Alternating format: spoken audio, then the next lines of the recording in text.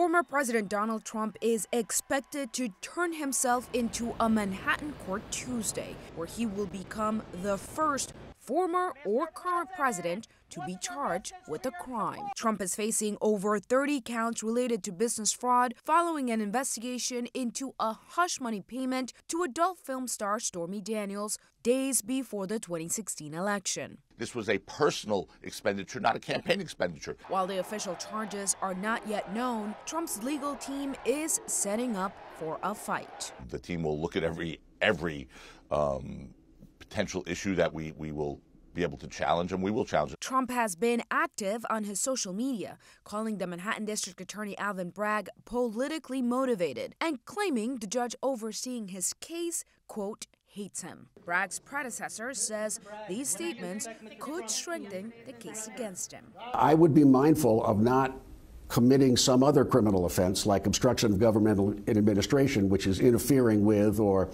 uh, uh, you know, by by threat or otherwise the operation of government. Trump is in the middle of his latest bid for the presidency, and his newest challenger, former governor of Arkansas Asa Hutchinson, says the multiple investigations into Trump are telling to voters. It should give Americans pause.